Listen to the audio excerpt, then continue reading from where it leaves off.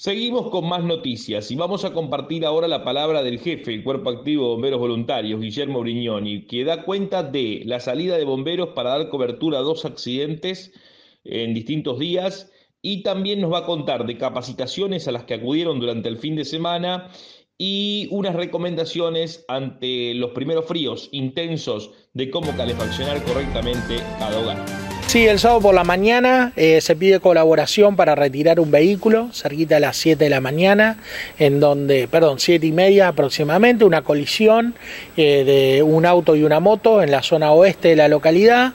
Bueno, el auto queda bastante dañado, así que se tuvo que trasladar el vehículo hasta la comisaría local.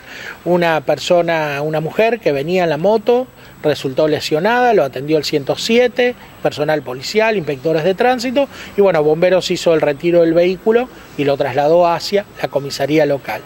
¿eh? dos dotaciones trabajaron en el lugar y anoche, cerquita 23 horas, se nos avisa de un vehículo que había quedado encajado en una cuneta, había caído, parte este vehículo a una cuneta y no podían salir por sus medios.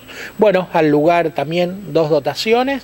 Nos encontramos justamente con tres personas que habían ya descendido del vehículo y bueno, lamentablemente en una maniobra termina este auto en una zanja, en una como es zona rural, esto es detrás de la cancha de esportivo para ubicarse, ya comienza la zona rural, las cunetas son bastante profundas, ahí hay un arroyo importante también que cruza y bueno, eh, quedó con una de sus ruedas dentro de la cuneta y no podía seguir eh, trasladándose, así que bueno, como te digo, una dotación, trabajo en el lugar, lo pudo enganchar, hizo un par de maniobras para sacarlo sin producirle ningún tipo de daño, debido a que, bueno, estaba, como te digo, solamente la rueda encajada dentro de la cuneta, ¿no?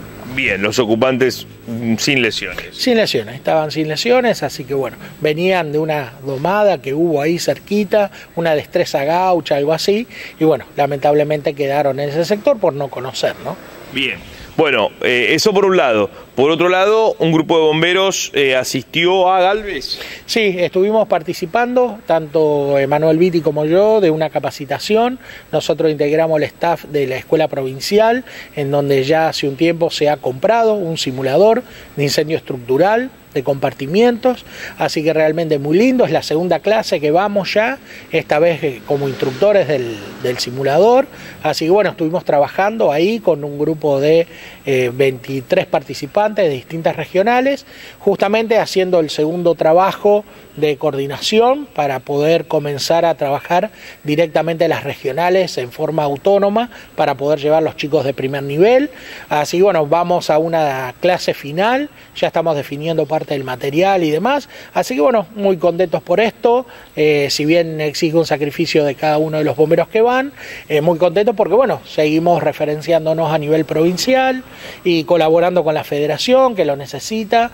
Así bueno, nosotros como siempre a disposición que es en lo que nos hemos entrenado siempre, ¿no? Hemos tenido mucha capacitación en el exterior y también dentro de lo que es la Argentina para poder llegar a este tipo de simuladores y bueno, hacer toda la parte práctica, ¿no? Bien. Bien, y también sigue, hubo, fin de semana para los eh, que están con eh, los aspirantes que están haciendo eh, su año de cursado. Sí, justamente, también tuvimos oficiales superiores, que tenemos dos, tanto Emanuel como Marinosi y Gianfranco, están trabajando, haciendo la capacitación de tercer nivel.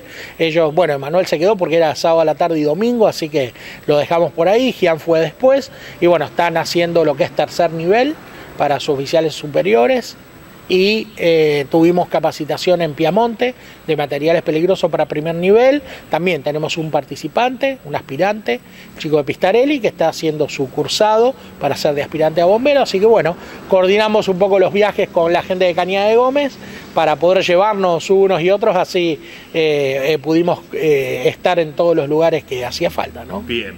Perfecto. Bueno, y por otro lado, se vino el frío, algunas recomendaciones en este arranque ya del invierno.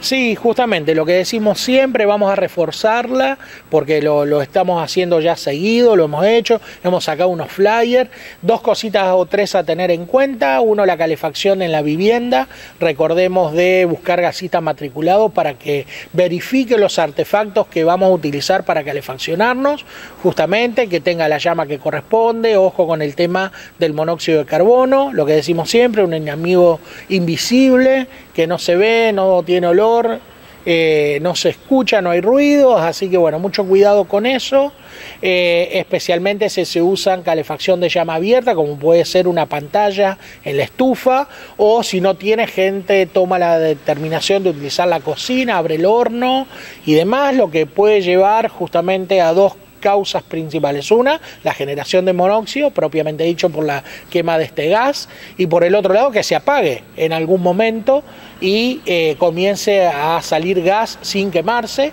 que podría generar algún tipo de explosión o deflagración por acumulación. Así que bueno, tener mucho cuidado, por favor.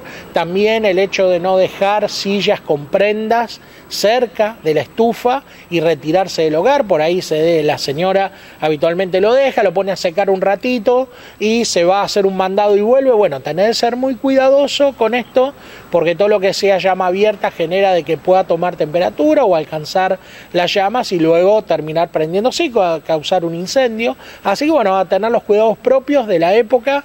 Empezó un poco tarde el tema del frío, pero bueno, ya está presente, así que tener mucho cuidado en los elementos que utilicemos para funcione.